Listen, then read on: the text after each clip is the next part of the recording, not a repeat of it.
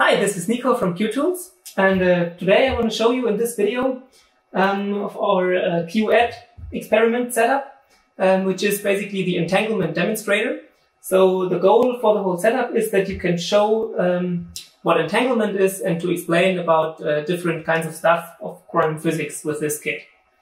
Um, so basically it consists of two main parts, which is first the electronics.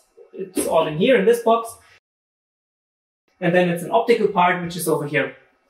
Um, so um, I have everything plugged in for you right now. Um, we have uh, in the electronic units, we have a laser driver that is connected to the laser that sits inside this small white box over here. And also there are a lot of uh, different optical components in this box uh, that actually um, prepare and create um, entangled photon pairs if you want. I can show you what's inside the box later.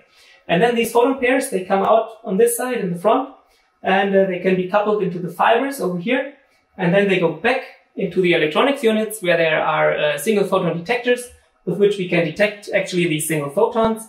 And um, then uh, in these different software displays, we can also have a look at uh, what actually we're measuring here. All right, so maybe let me uh, tell you what this is again. So um, if you want to make an experiment with this, you can also insert some polarizers into these uh, two beam paths we have over here. And um, I have the motorized version, which means I have this additional small motor driver, which sits here. And I also have um, two motorized polarizers that I can insert into the beam paths.